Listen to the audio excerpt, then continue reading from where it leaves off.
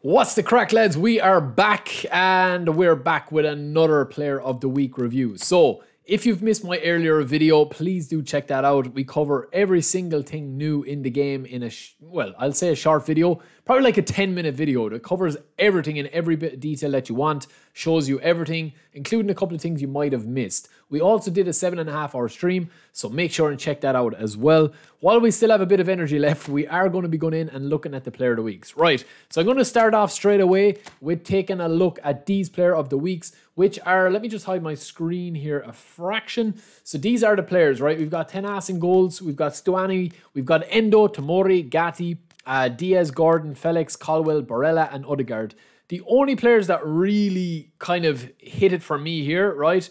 As we get rid of the goalie, um, who's just going to be an average goalkeeper, I think. Yes, he's got 88 reflexes, but unless you've downloaded the game in the last week, right? If you've downloaded the game in the last week or two weeks, or even today, you've just tried the contract or tried the, the new content, um, you will have these goalkeepers that will be quite decent, but he doesn't have long throw, which is a player skill there. If you're kind of brand new to the game, I definitely recommend check out my Ultimate Beginner's Guide. It's one of my most popular videos. And then any questions that you have, head on over to the channel and uh, get in touch with me or on you know Discord or Twitter or whatever, right? Or in the live streams.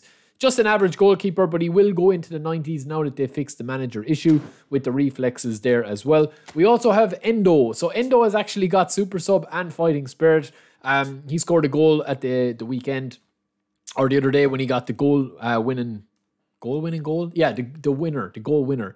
Very, very good, solid defensive anchorman. Has 74 acceleration. Speed will go up over 70 with the manager boost. And of course, he's got super sub, which is very rare for a defensive minded player, especially a DMF. And of course, he does have a rating this week, as all of these players do have, right? I'm not going to spend too much time on this guy. He's a fox in a box. He's slow. He's a dime a dozen. You can buy Giroud or buy somebody like that. Any of those players will do a job for you. This guy is pretty average at that. He has super sub as well, which makes him a little bit better, but I definitely wouldn't really recommend him. We also have Gatti here, here as well, who's down as an extra frontman. So he's not that aggressive, even though he's got 91 aggression. I've actually used this card, uh, or a very similar card to this, on my Xbox profile. Listen, if you are a newcomer, all of these cards are going to be an improvement. For this, I wouldn't be spinning for him. The only players you might ask me, right? And I'm just going to go in straight away and just do a spin, right? We're just going to do a spin for you guys. We did get donations on our live stream. Let's see who we actually do get. This is the brand new um, pack opening animation that you have. There's different animations for different players if you open a 10 box or a 1 box. And of course, we are going to get Endo, and he is going to be the Liverpool defensive midfielder anchorman. Not a bad pull at all. We might do one at the end of the video as well, so keep it locked here if you guys want to see that while we review the rest of the players.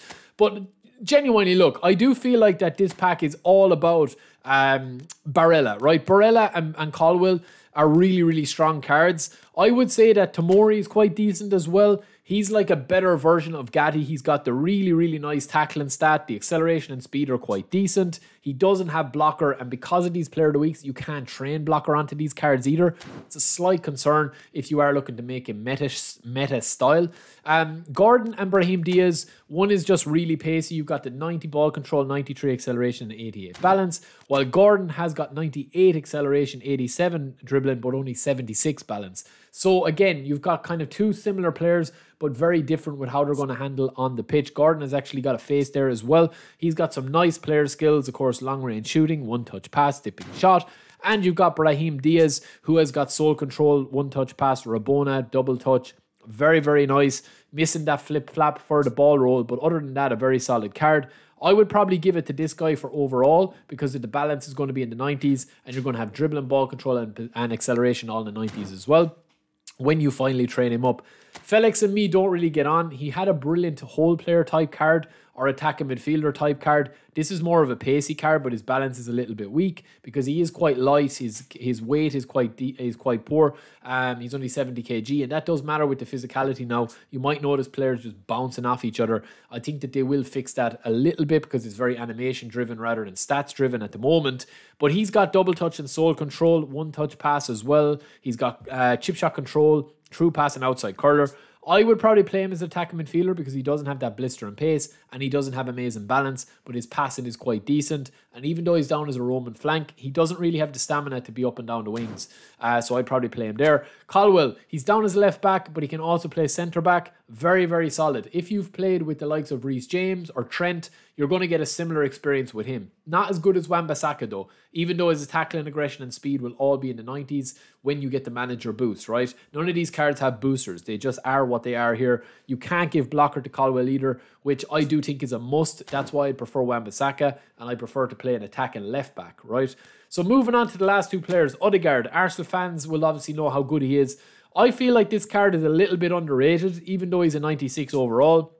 He's got excellent player skills, one touch pass. He also has true pass and pinpoint and outside curler. No look pass is very unique skill, like Ronaldinho has that as well. But he doesn't have low lofted pass, which is a small bit of a pity.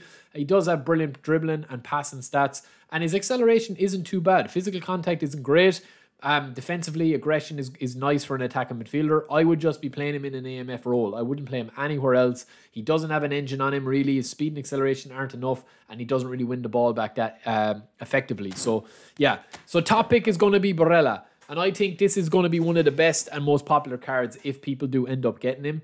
Now, his stats aren't as good as what you can get other cards on this uh, pack. I would say that this is a fairly disappointing player of the week. I wouldn't really spin um, for this unless you really need to upgrade your squad quickly. Fairly decent stats on everything, but a master of all trades he is not because he doesn't have any brilliant, brilliant stats on this card that you're going to have to say, yeah, I definitely need to get him, right? Just a very solid kind of whole player style build card, but he's down as, or a box to box type card, but he's down as a whole player. So I do think it's a good card. If you don't have any other version of Barella, Barella is one of the best players in the game by a mile. He's one of the best box to box in the games by a mile. But I feel like that card is a little bit weaker, right? So my top picks and whether or not it's worth to spin it, I would say, yeah, I'm happy enough with Endo. I think Endo's going to be a beastly DMF. He doesn't have blocker, which is the only slight on this card, but he's got everything else perfectly.